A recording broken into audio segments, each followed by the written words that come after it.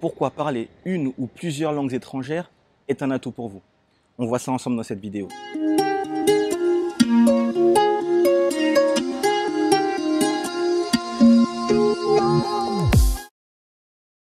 Salut et bienvenue sur notre chaîne. Je suis Cédric du cabinet Connect Consulting Recrutement et ici j'aborde l'ensemble des sujets liés à la recherche d'emploi, au recrutement et à votre évolution de carrière. Si ces thématiques vous intéressent, deux choses à faire. La première, abonnez-vous à la chaîne si vous êtes nouveau et activez les notifications pour être informé de l'apparition de toutes nos vidéos hebdomadaires.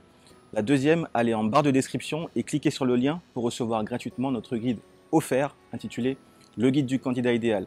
Sous forme de test, il se lit rapidement et vous permettra d'aborder sereinement vos recherches d'emploi et vos entretiens. Parler une ou plusieurs langues étrangères présente plusieurs avantages. Alors, d'entrée de jeu, en France, quelles sont les langues étrangères les plus demandées? Alors, en premier lieu, vous allez avoir l'anglais, vous allez ensuite avoir l'allemand et l'espagnol. Ce sont les trois principales langues les plus prisées. Ensuite, vous allez avoir d'autres langues qui vont être également euh, demandées en fonction des postes. Ça peut être le chinois, ça peut être l'italien, ça peut être le portugais. Voilà, en tout cas, les principales langues en tout cas demandées en France vont être l'anglais, l'allemand et l'espagnol. Quels sont les avantages pour vous de parler une ou plusieurs langues étrangères? Premier avantage, il y a moins de profils qui parlent une ou plusieurs langues étrangères. vous allez être des profils entre guillemets plus rares, et qui dit plus rare dit plus cher. Autrement dit, ça va être la possibilité pour vous de faire un bond au niveau de la rémunération. Je pense que c'est un point qui est non négligeable. Donc, premier avantage, la rémunération.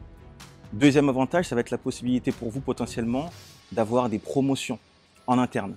Certains postes sont principalement ciblés sur des profils qui parlent une ou plusieurs langues étrangères. Donc le fait de parler une ou plusieurs langues étrangères va vous ouvrir des portes. On est là principalement sur des postes à envergure internationale. Vous allez avoir des clients à l'international, euh, voilà, peut-être même aussi des collaborateurs à l'international. Là, je pense notamment aux grands groupes. Et ces postes-là, malheureusement, si vous ne parlez pas de langue étrangère, vous allez être bloqué.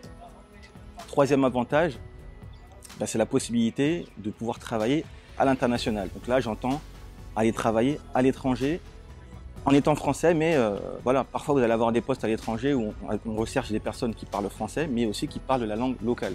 Du coup, le fait de parler la langue étrangère va être vraiment un point fort pour vous. Ensuite, quelles sont les attentes des entreprises?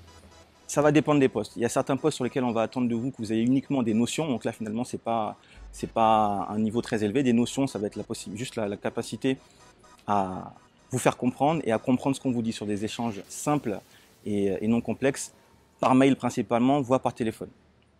Deuxième euh, possibilité, c'est euh, un profil avec un bon niveau. Là, on va attendre de vous que vous soyez capable en tout cas d'échanger par écrit, ce qui est certain, également à l'oral. Troisième possibilité, là, on va rechercher un profil euh, bilingue ou quasi bilingue. Donc là, il faut un très bon niveau, notamment avec la maîtrise du vocabulaire professionnel lié à votre métier pour des échanges par mail et aussi principalement à l'oral, que ce soit en physique ou par téléphone. Dernier point, comment vous perfectionner en langue La meilleure manière de se perfectionner en langue, c'est l'immersion, l'immersion professionnelle. Donc aller à l'étranger pour une durée plus ou moins longue, c'est le meilleur moyen pour apprendre et pour se perfectionner dans une langue. La deuxième possibilité, c'est la formation. Vous avez un grand nombre de formations. Euh, donc voilà, se former à une langue, à plusieurs langues, pour monter en compétences, notamment au niveau du vocabulaire professionnel. Et enfin, la troisième possibilité, ben, c'est un petit peu regarder les séries, écouter de la musique. Là, vous n'allez pas monter en compétence sur le vocabulaire professionnel, mais vous allez en tout cas euh, vous aguerrir au niveau des, notions, des formules, des formulations de phrases, vocabulaire au sens large. Donc, euh, donc voilà. Ben, écoutez, j'espère que cette vidéo vous a plu. Si c'est le cas, dites-le moi en commentaire. N'hésitez pas à mettre un pouce vers le haut. Pour celles et ceux qui souhaitent être accompagnés personnellement dans le cadre d'une session de coaching, je vous donne rendez-vous sur notre site internet connectconsulting.fr. Quant à moi, je vous dis à très bientôt. Salut